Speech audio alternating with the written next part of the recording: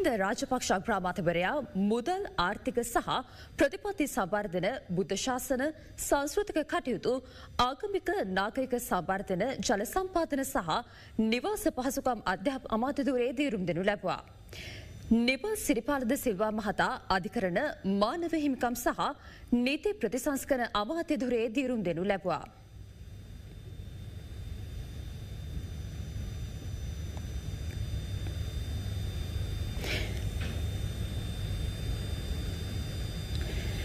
ඒ අනුව දිනිශ් ගුණවර්ධන මහතා දියුරුම් දෙනු ලැබුවේ විදේශ සබඳතා නිපුණතා සංවර්ධන රැකේ රක්ෂා සහ කම්කරු සබඳතා අමාත්‍ය දුරේ.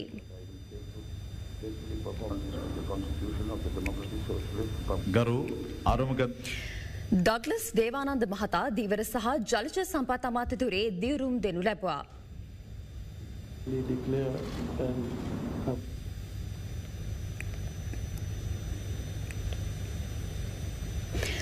පවිත්‍ර වන්‍යාරච්චි මහත්මිය කාන්තා සහ ළමා කටයුතු සහ සමාජ ආරක්ෂණ සෞඛ්‍ය සහ දේශය වෛද්‍ය සේවා මාතතුරේ දියුරුම් දෙනු ලැබවා.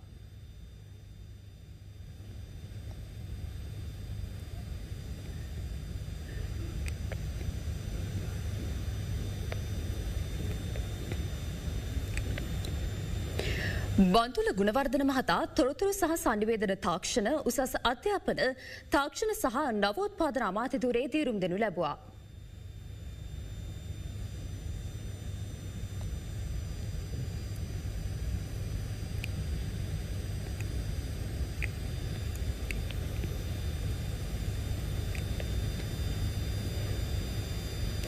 ජනක බණ්ඩාර තෙන්නකෝන් මහතා රාජ්‍ය පරිපාලන ස්වදේශ කටයුතු පළත් සභා සහ පළත් පාලන අමාත්‍ය දුරේ දියුරුම් දෙනු ලැබවා.